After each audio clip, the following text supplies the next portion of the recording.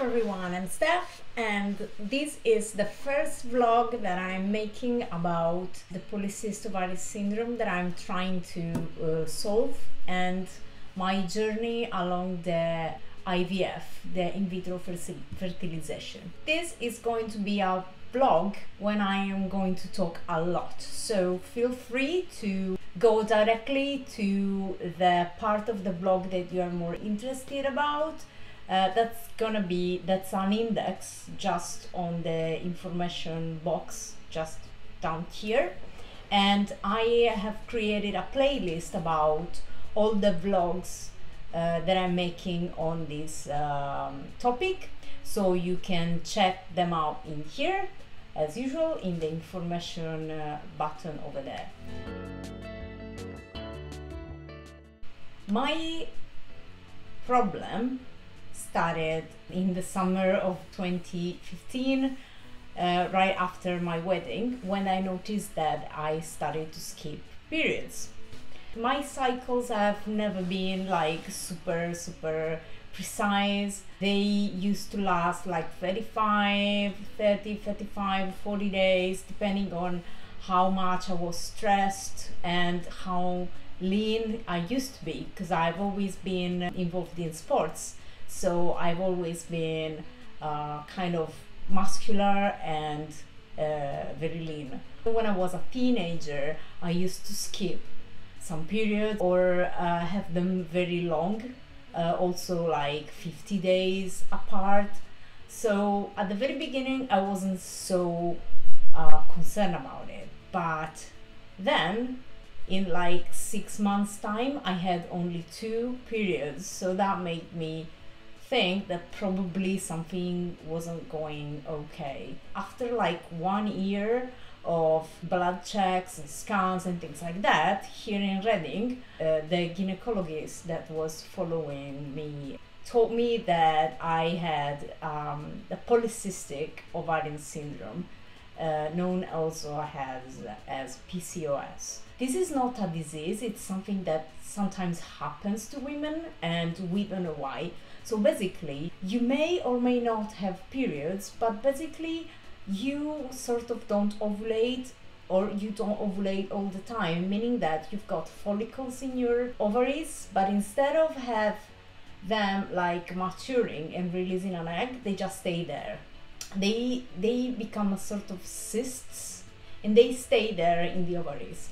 The good news, which is also a sort of a bad news, is that I fall into the lean side of the, the PCOS because PCOS is not like a syndrome that's it. It's it covers a variety a wide range of nuances of this this this syndrome. So you can have like a very very heavy PCOS syndrome or like a, a lean sort of syndrome like mine. So sometimes my ovaries look like they have they are polycystic sort of uh, ovaries, and some months they don't look like that. So we don't know what the fuck is happening, and I keep not ovulating and therefore I don't have any periods. But sometimes when you have PCOS, you don't have ovulation, but you have periods. But I don't have periods either because the lining in the uterus is too thin, and this is can might be caused by PCOS. So I ended up in a situation where I've been tested and my hormones are okay. So the PCOS that I have is not so heavy to mess up my hormones. We thought I had hypothalamic amenorrhea, which is um, lack of period because your uh, hypothalamus don't trigger the right boots to your body to you know push and and make the, the, the cycle the whole cycle happen. And so your body is shutting down everything. That's a sort of a surplus. And your body is keeping only what it needs to survive. But this is not my uh, my case again because my when you have hypothalamic amenorrhea, your hormones are all over the place, whether high or low or whatever during the cycle. Your uh, hormones go up and down. Mine are just flat. And this allows me to have an healthy, normal life. So I don't have any other problems, but I don't have uh, also any periods and I don't ovulate. And this is a bloody mystery. The gynecologist tried to make me ovulate during uh, the last year. They put me on metformin, which is a medicine that uh, diabetic people used to have. But uh, studies have shown that they this this metformin can have also a good impact on PCOS. They tried to uh, push my ovulation with uh, different drugs. So I had one cycle of clomiphene, which gave me the worst headache I've ever experienced in my life. Is what it was dreadful. And it didn't work. We tried uh, a cycle of Femara, which didn't work. And then they doubled the dose of, of Femara. And again, it didn't work. So also the gynecologist was like, we don't know why you don't ovulate. And we also can't take any other actions because sometimes they do surgery to remove the cysts inside the ovaries but it's it's risky because sometimes my ovaries have cysts or follicles and sometimes they don't. So eventually the gynecologist told me that a pregnancy could fix this. But how can i get pregnant if i don't ovulate and if i don't have any periods so they proposed to try the IVF, which is the in vitro fertilization. The first uh, cycle of this IVF, given our conditions, is totally free. So the NHS, thank you NHS, is paying for this very expensive treatment. I am going to go through this in a month time. This is why I am doing this blog because I want to document everything that's going uh, to happen to me in the hope that this can help someone else because the society sometimes give you this, this this social pressure. Even if you don't care about it it's sneaky and it gets inside your mind and tries to make you feel guilty.